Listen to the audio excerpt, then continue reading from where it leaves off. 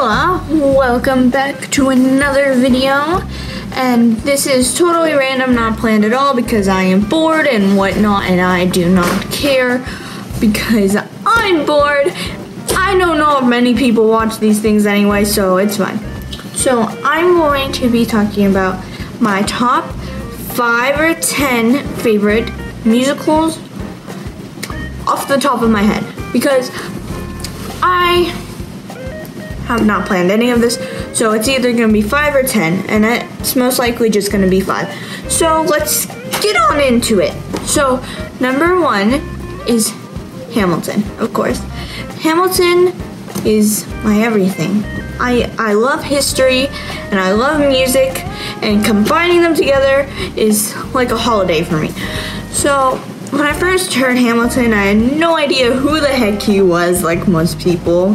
And I just fell in love. I fell in love with not him, but with his wife. That sounded so weird, but I fell in love with the story of Elizabeth Schuyler trying to keep his legacy alive, even though he cheated on her and then basically humiliated her in front of the entire country.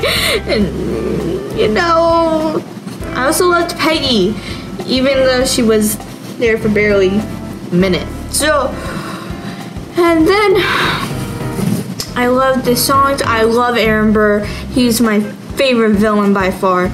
And Wait for It, It Happens, some of the greatest songs in the entire thing.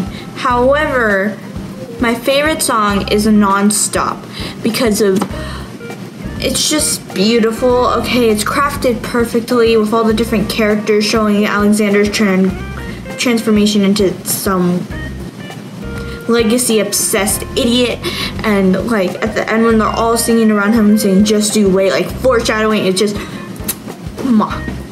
perfect the second musical I could think about is In the Heights. I love In the Heights because I am Mexican partly, and I am terrible at Spanish, so do not ask me to do Spanish like ever. But and the Heights has a special place in my heart. I love its music, its atmosphere, and just everything about it.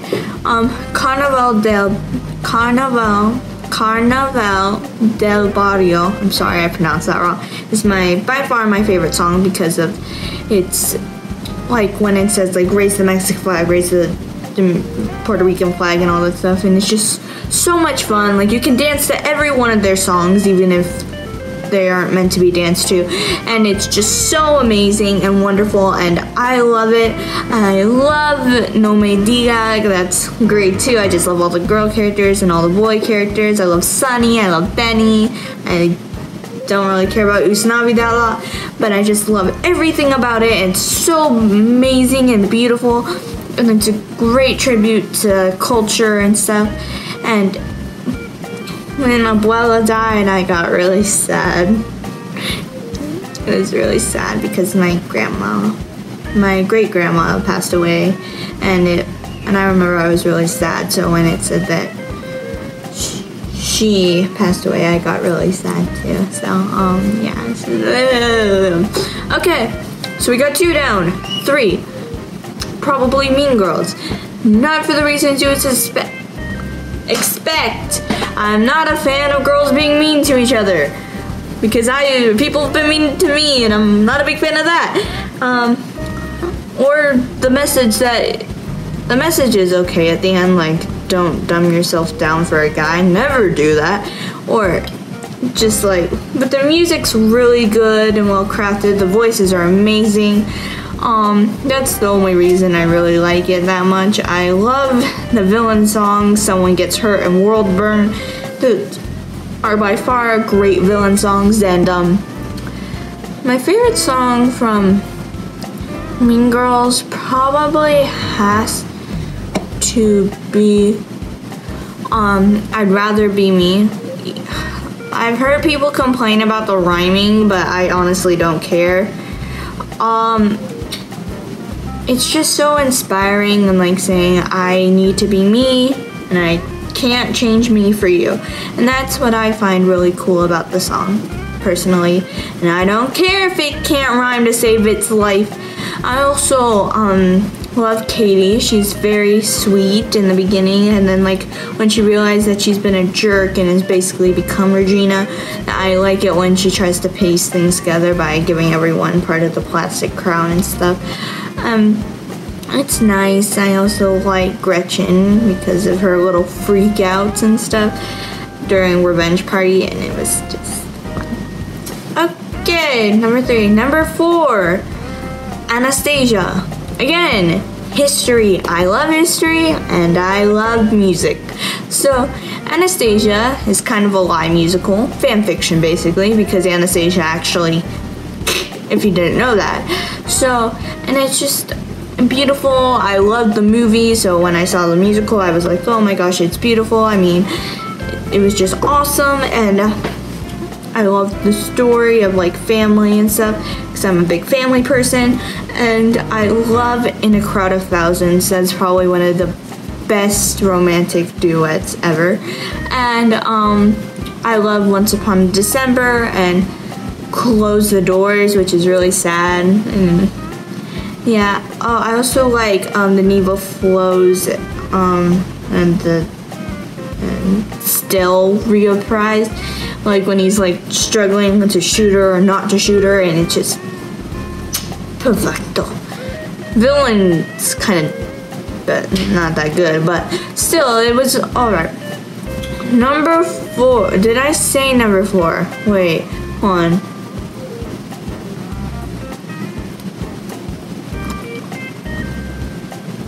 Yep, number five. Never mind, five. Um, what's another musical I like? Uh, I love six. Moving on because six, I love it. Henry Davis wise, amazing songs, but you know I will just say all my favorite musicals basically. Um, six I love because I love Henry VIII in English history and all that fun jazzy stuff. And I love how they portray each of the wives and all their individual songs. I love Don't Lose Your Head and Heart of Stone. Those are like my two favorites. However, the best one I gotta say is All You Wanna Do. Not because of ugh, not because of all the stuff that's in it.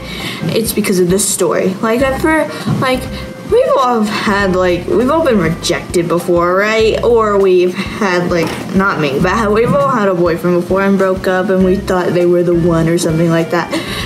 And it's so sad, like watching her realize as each time goes by th- that none of them really cared about her at all, and it's kind of sad and especially s- very upsetting when she breaks down at the end, and that's why all you want to do is my favorite. Number six is & Juliet. & Juliet is not that popular, but it's about what if Juliet didn't kill herself at the end of Romeo and Juliet. And I love its story, its hip hoppy songs, and it's just beautifully crafted and everything. And it's just amazing. I've never seen it, I've just listened to the soundtrack. It's great and everything. And it's a nice story of what would have happened if Juliet didn't kill herself. It's not the best, but it isn't the worst by far. Number seven. I'm running out of these. Um, hmm, is probably 21 Chump Street. Um, it's sad. It's about an undercover officer and a schoolboy that falls in love with her, and she kind of just uses him to find out who's buying and selling marijuana and stuff like that. It's really, really sad, and that he gets sent to jail at the end. And it's, I love all the songs. My favorite is um probably the money song. Like where they're like fighting back and forth and like taking the money or not taking the money. Um um yeah and i just love it so much. Yeah. Is there any other musicals i like? Uh hmm or if you guys have any musicals tell me them down below that i should listen to or react to even. I would do that because i have nothing else to do. Um hmm. Those are all my musicals. I guess i'll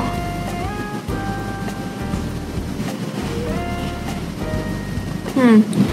And I want to make this video extra longer than it needs to be. So I'm going to go over them. So this other guy I watch um, in real life, I think that's what he's called. He does this thing, like, he did this video, like, where you say one good thing about the musical, one bad thing about it. So that's what I'm gonna do real quick, okay? In like five seconds. Hamilton, good telling about a wonderful story about a wife who was super faithful and told a story even though most of his history forgot him and even though he was a trashy husband, she still forgave him and it's a nice song about wanting to be more and remembering who you are in your past bad. He cheated on his wife and published it because he was scared that um, if he didn't publish it, people would think of him as a bad Secretary of Treasury. Yeah, that's a, that wraps it up about it. Okay, in the Heights, wonderful cultural depictions. Um, amazing about following your dreams, and you know, sometimes your dreams might shift lanes and stuff. Great, awesome. Bad thing. Um, it's not really bad, so I can't really complain. Um oh, people are too dumb to say their feelings because you know that's we need to have that intense drama, and then like um, Benny and Nina fight and then make up by kissing each other. Yeah, that makes sense. So. Future advice, if you ever get in a fight with your spouse or significant other, you should just kiss them and everything will be fine. Okay, um, Mean Girls overcoming bitterness, learning to be yourself, learning you shouldn't change yourself or dumb yourself down for a guy. Bad, just everything I said before, but in effect.